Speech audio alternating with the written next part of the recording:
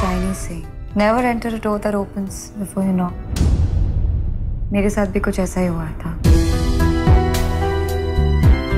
Take my interview with statement कि मैं उस सना सान्याल को मेरा हस्बैंड छीनने नहीं दूँगी। अगर मेरी ज़िंदगी की सारी सच्चाई मैं सबके सामने ला कर रख दूँ पता नहीं कितने लोग मेरा गला काटने के लिए तैयार हो जाए